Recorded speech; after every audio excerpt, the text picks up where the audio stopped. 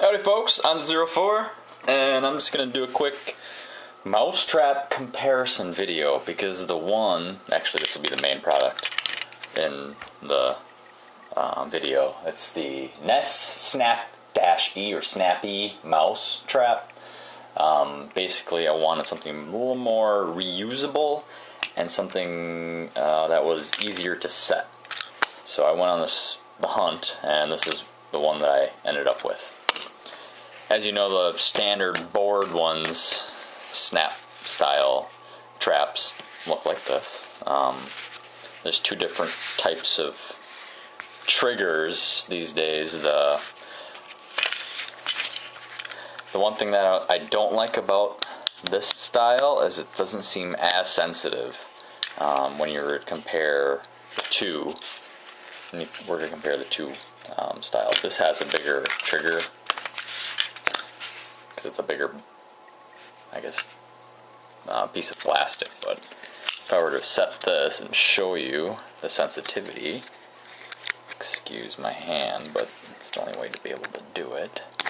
Ow! Just like that. A blunder.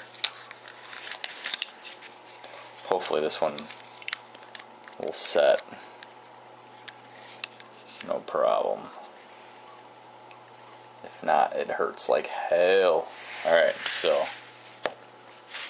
that's set. Right now, that um, metal bar is kind of tweaked now just because of the amount of usage it's been getting from the mice. So let's go find something to set the trigger off. And you'll see, in terms of sensitivity, what it's like. Hopefully nothing breaks.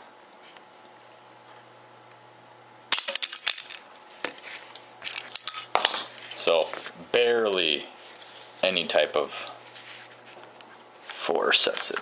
And then on these, the trigger mechanism, you have to depress inside this little tab. So I'll show you from the top. And everyone knows how to set a mousetrap, right? So this one, I'll show you where it requires a little bit more, but it's still pretty good. But I don't just because I think the size of the paddle makes the huge difference though. So there's that one. I mean, requires the same amount of force, but I think there's less of a chance that it'll go off. Here's that new Kness, K-N-E-S-S Snappy Mousetrap. Um, it's kind of a neat little design, so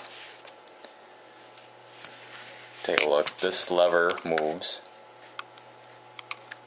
So when you're uh, removing the rodent, you don't ever have to touch this paddle, which is really annoying because you have to lift it in order to be able to remove the mouse. But on this version, you just have to lift this tab and it drops. It's awesome. Way more, um, I guess, in a sanitary situation, it's gonna be a lot more safer. So, in the back, I don't know if you can see, um, let me grab a flashlight.